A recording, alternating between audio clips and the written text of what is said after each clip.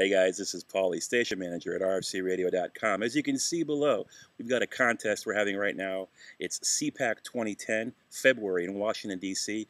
We're giving away a three-day pass and two-night hotel stay at the Omni. It's a serious package, folks, but this is serious times. The 2010 convention is going to be a historical event. It's the convention that's going to launch the 2010 elections and help us get America back from the craziness that's just going on right now. So please consider donating uh, any way you can help us out. We are a grassroots organization. We don't have George Soros backing us up here.